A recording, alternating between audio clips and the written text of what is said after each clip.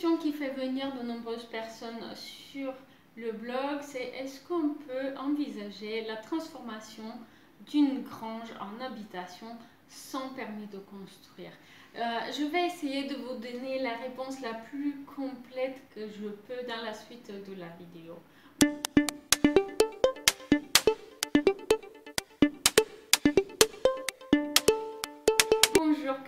Allez-vous Alors, est-ce qu'on peut transformer une grange en habitation sans faire une demande de permis de construire? Je vais vous donner un lien dans la description de la vidéo qui est un lien officiel euh, du site de service public donc, qui va vous euh, expliquer que euh, faire une demande de changement de destination d'une construction nécessite une déclaration préalable. Cela veut dire quoi? Cela veut dire que théoriquement, pour aménager une grange en habitation, il suffit de faire une déclaration préalable.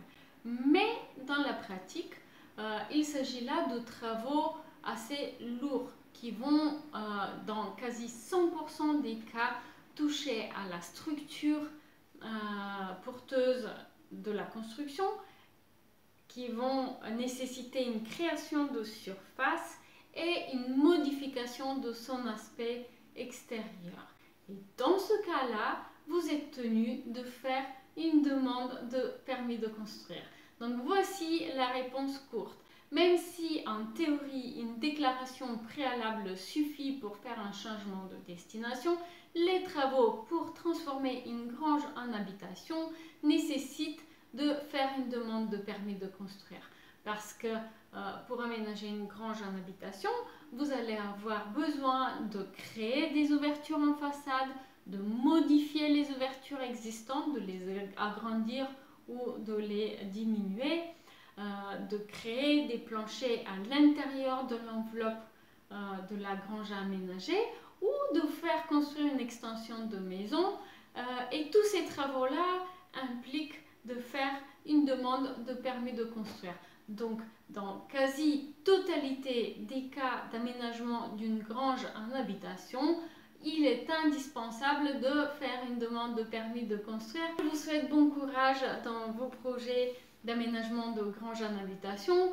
Euh, je vous félicite d'avoir fait ce choix-là qui est un choix éco-responsable de redonner vie à une construction existante qui permet aussi de créer un habitat plein de charme. Il faut euh, le temps nécessaire à l'étude, il faut être bien, euh, bien entouré par des professionnels capables de mener à bien votre projet aussi bien pour ce qui concerne l'étude et la conception euh, que la réalisation.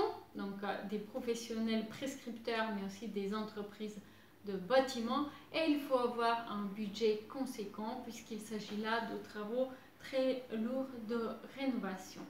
Si vous avez apprécié cette vidéo, donnez-moi un petit coup de pouce bleu, ça me fait toujours plaisir. Abonnez-vous à la chaîne et euh, je vous encourage également à visiter mon blog Logement éco-responsable. Le lien est dans la description.